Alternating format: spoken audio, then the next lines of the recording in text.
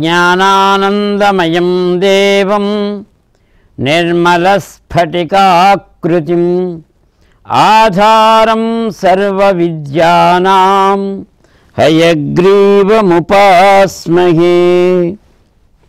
ॐ योगेन चित्तस्य पदेन वाचां मलं शरीरस्य च वैद्यकेन।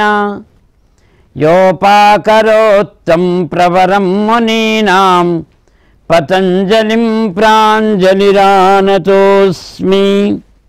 శ్రీవాణి నిను నెమ్మజిందలచి సచ్చీలంబుతో గొల్చెదన్ ధీవాగ్ధారలు సంగి యోగమునను దీపింపగా తత్వము నా వాక్యంబుల నిల్పునిష్ట కళ ప్రాణంబున్ మహానాదమున్ శ్రీవాగ్దేవి సరస్వతి భగవతి శ్రీవ్యాస సంభావిని నన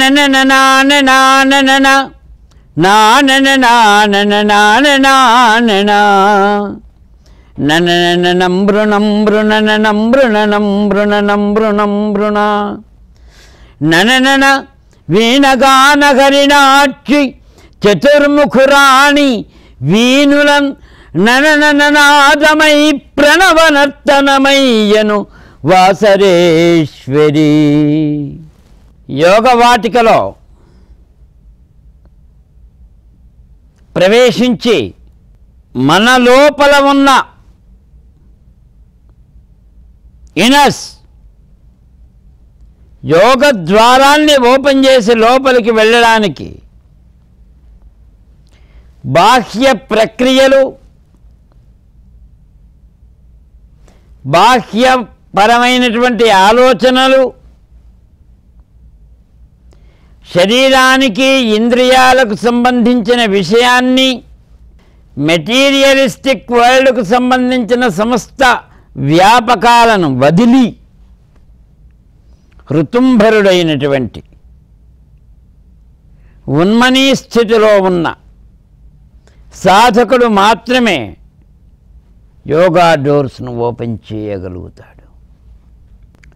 లేకపోతే మనం యోగా డోర్స్ను ఓపెన్ చేయలేం. సుఖాలు తాత్కాలికమైనవి మరియు అభూతములు. అభూత కల్పన అని చెప్తాం. అటువంటి దాని నుంచి వచ్చే ఆనందం కూడా లిప్త కాలంలో దొరికే ఆనందం అంతా ఇంద్రియాల నుంచి శరీరాల నుంచి వస్తాయి. ఎందుకంటే ఇవి సాకారములు. నిరాకారం లేనటువంటి ఆనందం నిరాకారతత్వం నుంచి వచ్చే ఆనందం చిదానందం బ్రహ్మ. అంతేకాకుండా మరి యొక్క ప్రమాదం ఉన్నది. అథర్వ వేదంలో చెప్పాడు. బ్రహ్మాండ లక్షణం సర్వం. బ్రహ్మాండ లక్షణం సర్వం దేహమధ్యే ప్రతిష్ఠితం. సాకారో వినశ్యంతి నిరాకారో ననశ్యతి అని. అంటే మన యొక్క శరీరంలో రెండు రకాలు. సాకారతత్వం నిరాకారతత్వం. ఎందుకంటే మన లోపల బ్రహ్మాండ లక్షణం ఉంది కాబట్టి. సాకారములు శరీరము పంచభూత తత్వాలకు సంబంధించినటువంటి ఇది జీవుడు ఆత్మ పరమాత్మ. నిరాకారతత్వానికి సంబంధించినవి. ద్వౌ విద్య వేయితవ్యే ఇక్కడ విద్యలు కూడా రెండు రకాలు ఉన్నాయి. ఒక రకమైన విద్య బాహ్య ప్రపంచానికి సాకారతత్వానికి దాన్ని వృద్ధి చేసుకోవడానికి దానిని పోషించుకోవడానికి సంబంధించిన విద్య. దౌ విద్యే వేదితవ్యే ఇంకొక విద్య. నిరాకారతత్వమైనటువంటి జీవుడికి ఆత్మకు పరమాత్మకు సంబంధించిన బ్రహ్మ విద్య. అది మహోన్నతమైనటువంటిది. శాశ్వతమైనటువంటి చిదానందాన్ని బ్రహ్మానందాన్ని పరమాత్మానందాన్ని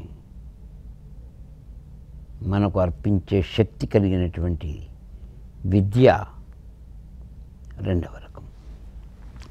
ఈ రెండు రకముల విద్యలు అవసరం.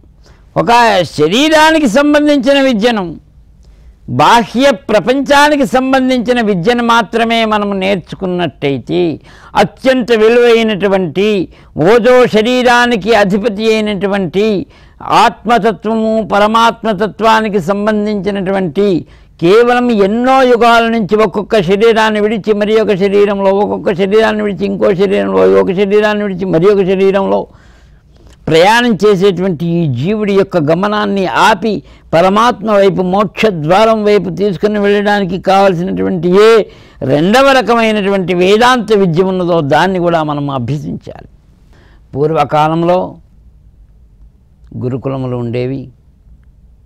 దానిలో ప్రకృతి తత్వానికి భౌతిక ప్రపంచానికి సంబంధించిన విద్యతో పాటు పరమాత్మ సంబంధిత విద్యల్ని నేర్పించేవారు. అందుకొరకే ద్వౌ విద్యే వేదితవ్యే రెండు రకములైనటువంటి విద్యలు ఉన్నప్పుడు రెండు రకముల ప్రపంచాలు ఉన్నాయి ఇక్కడ చెప్తూనే ఉన్నాం. సాకారము నిరాకారం మన యొక్క బ్రహ్మాండ లక్షణంలో. కాబట్టి నిరాకారతత్వమైనటువంటి జీవుడు జీవుడు చావడు శాశ్వతంగా ఉండేవాడు.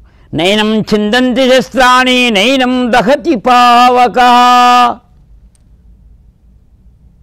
అగ్నిలో పడవేసిన అస్త్ర అస్త్రశస్త్రాల చేత ఖండించిన ఆ జీవుడు చావుడు ఎందుకంటే వారు జీవుడు. వారి పేరే జీవుడు. జీవతత్వాన్ని కలిగినటువంటి వాడు. వాడు మన యొక్క శరీరాన్ని ఆశ్రయించుకుంటున్నాడు. ఆశ్రయించుకుని స్థిరనివాసం ఏర్పరచుకొని ఉన్నాడు. వాడు ఎప్పుడు వెళ్ళిపోతాడు? యావద్వాయు స్థిరో దేహే తావజ్జీవనముంచతి ఎంతవరకైతే మన లోపల ప్రాణతత్వం ఉంటుందో అంతవరకు ఉంటాడు. జీవుడు. ఆత్మ. ఈ జీవుడు? తనను తాను తెలుసుకొని ఆత్మ సంయమ యోగాన్ని సాధించి ఆత్మలో లీ లీనమై జీవాత్మగా రూపొందుతాడు. అప్పుడు ఆత్మబలం డివైన్ స్ట్రెంగ్త్ పొంది పరమాత్మను ఆరాధించి ఆయనలో లయమైపోతాడు. ఆయననే దిక్కు. ఇది మహోన్నతమైనటువంటి ఆనందాన్ని కలిగించే విద్య. ఆనందో బ్రహ్మేతి వ్యజానాత్. ఆ ఆనందం బ్రహ్మానందం. ఒక్క నిమి- పది నిమిషాలు మెడిటేషన్లోనే ఉంటే మనం వేరే ప్రపంచంలోకి మన లోపలికి మనం వెళ్ళడానికి ఉద్యుక్తులమైన టైంలో జ్యోతిర్దర్శనమేవచ అది లభిస్తూనే అంత ఆనందం. అనాహత చక్రం నుండి ఉద్భవించినటువంటి మన లోపల ఉన్న అనాహత చక్ర స్థానంలో ఉద్భవించినటువంటి ఏ ఓంకార నాదం ఉన్నదో ఆ ఓంకార నాదాన్ని ఇన్నర్ వాయిస్